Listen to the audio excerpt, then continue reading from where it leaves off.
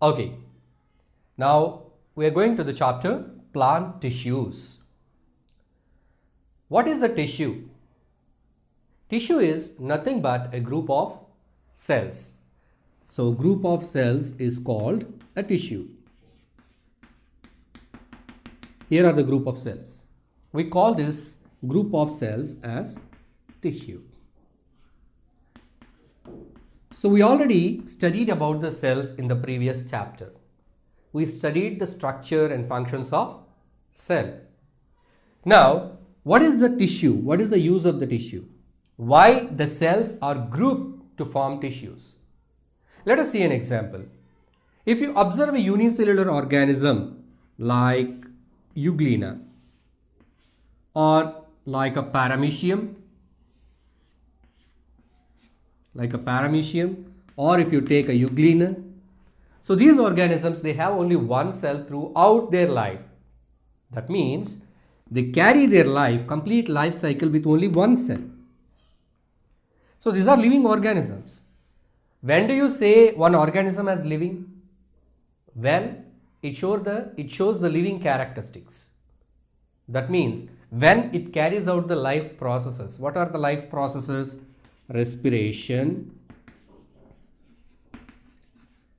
and some kind of digestion.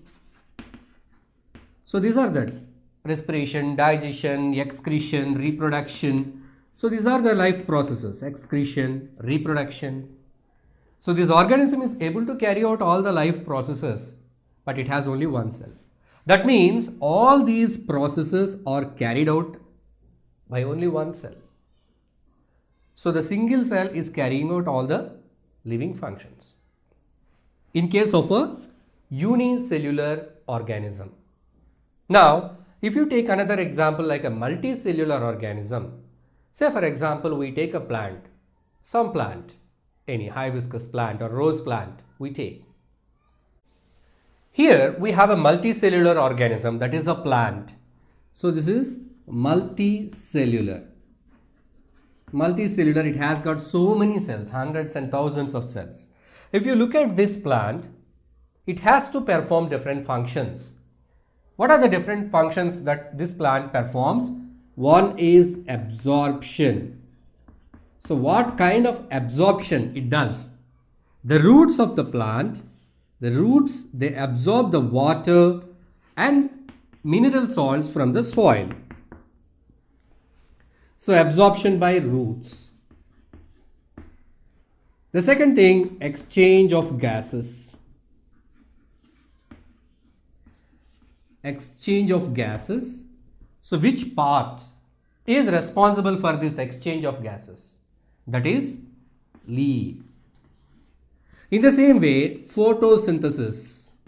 Because plants prepare their own food by a process known as photosynthesis and even for photosynthesis, leaf is the part which helps in the process of making food. And storage of food, storage. So, the storage of the food, where does the food stored? The food may be stored either in the leaves or in the fruits or in the roots. Depends upon the plant. So, if you see that different parts of a plant are performing different functions. Why? All parts cannot perform all functions. Say for example, if you take the root, can it perform photosynthesis? No. If you take the leaf, will it absorb the water from the soil? No. Because in multicellular organisms, we find a specific organization of cells. So here, these parts have specific roles. They have some specific roles. Leaf, exchange of gases, transpiration, photosynthesis, root, absorption of water, fixing the plant in the soil, soil, stem, conduction of water, taking the water and minerals up and down. So each part is performing a specific function.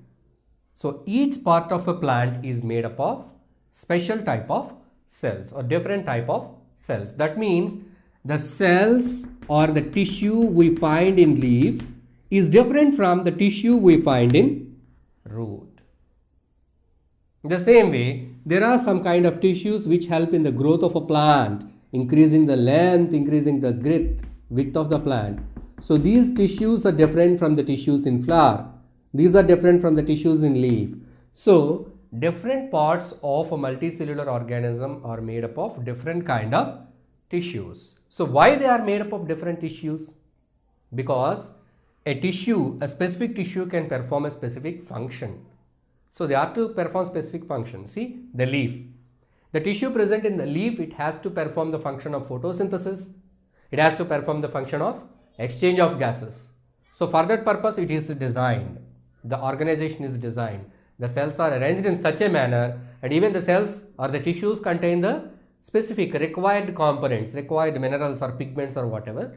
So, so that is the reason why there is a variation of tissues in plant. So in this lesson, we are going to study about the different types of tissues found in plants, their structure and at the same time their functions, how they help for the plant to carry out its life activities or processes like respiration or absorption or exchange of gases or photosynthesis or whatever so.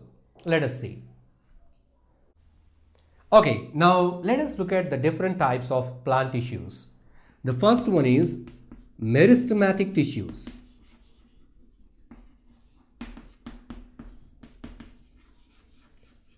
So meristematic tissues are the tissues that help the plant in its growth. And second one is dermal tissues. Dermal tissues, they are in protective nature. They form different types of coverings and protect the plant parts. And the third one is ground tissue. So this ground tissue, it forms the base of different parts of the plant. And the last one, vascular tissues. So these vascular tissues, they help in transporting the substances or water in the plant. So these are the four major tissues we find in a plant. Now let us talk about each of these tissues in detail. So here we have different activities to observe the tissues under microscope. All the activities are given in the practical DVD part. So now we are moving to the theory part of this tissues. Okay, now we are going to talk about the first type of plant tissue that is meristematic tissues. So already I told you that these meristematic tissues, they help in the growth of plant. So the plant has to grow up to its maximum size. So the growth of the plant takes place height wise. That means its height is to be increased. At that same time, the width or the girth, the circumference of the stem also should be increased and at the same time the branching of the plant also should be increased. Then you can say the plant is growing up.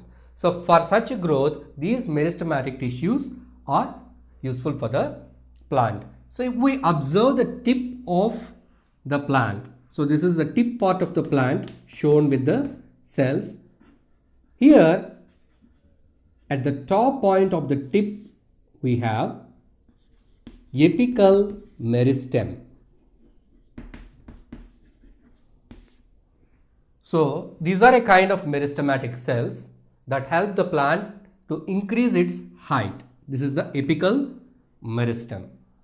So at the sides to increase the width of the plant, to increase the girth of the plant, here there are some other kind of meristematic cells called as lateral meristem.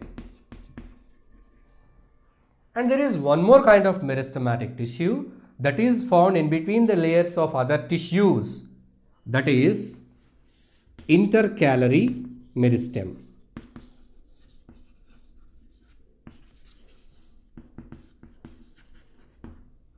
So the apical meristem of the plant helps the plant to increase its height whereas a lateral meristem it helps the plant to increase its width, girth and the intercalary meristem it helps the plant to form new tissues that is to produce a stalk for flower or fruit or for a new branch.